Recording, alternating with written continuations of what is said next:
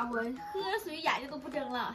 大家好，我是翠花，翠花又给大家上新品了。这个新品可是咱们家广大网友强烈要求说的，翠花姐能不能上一个金饼？今天翠花姐给你们找到了啊，鱼鳞锦金饼。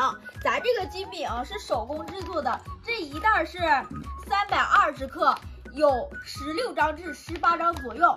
这个金饼是不是都会吃？卷点土豆丝儿啊，卷点小葱啊。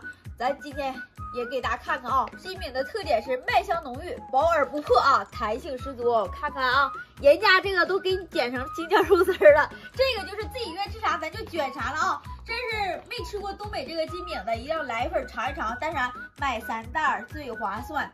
一会儿吃金饼，我让他吃金饼，他不吃。你看看啊，今天这天不好，下雨，他走出去比较困难。这金饼做法非常简单，水开了，上锅煮个五分钟。带着袋煮啊。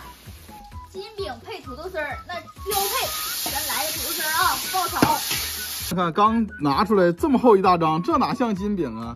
那不得揭开吗？这家伙有十六张呢啊！哎，就这么一拽出来就一张了。哎，看看这，看看着，可以轻松透手的。这个吃法非常简单呐，你想卷啥就卷啥，哎，你说你卷点土豆丝儿，你说你卷点什么青菜，哎，都可以啊。你要是有条件，你再来点肉，来个京酱肉丝儿啥的，那都没毛病。这葱不能少了哟。然后来点鸡蛋酱啊，要不然没有咸蛋啊。香菜再来两个。哎，这么一一折，它这个特点就是什么呢？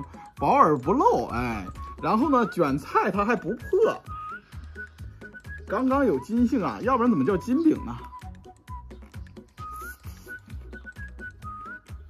看看卷完了，透着里头酱，哎，啥色都能透出来。嗯，这个能做什么好吃不好吃，那就看自己了。